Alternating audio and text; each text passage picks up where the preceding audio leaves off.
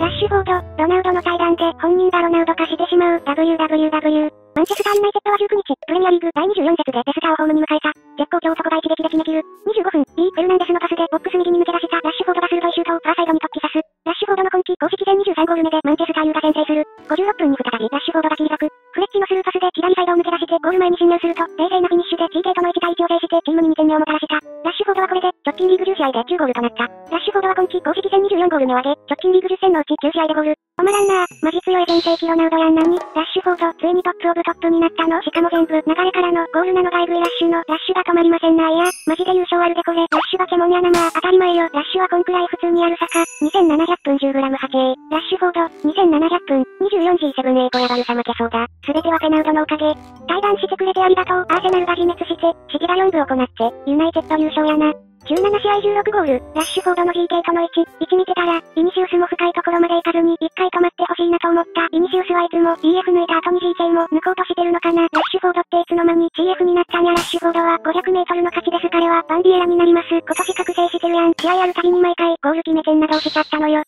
止まらないやんけ。今だと、ハーランドよりラッシュフォード止める方が正し。そうやっぱ今のラッシュフォードはあんまり、老化してない子何って無能よな。ラッシュフォードの何がすごいって、調子いい時にハッとトリックして、固め取りするわけじゃなくて、常に1ゴールしてくれるのがありがたすぎる。グリーンシートさえできれば、絶対勝てるようになってるもん。ラッシュフォードのエグいところが、PK での得点がないという。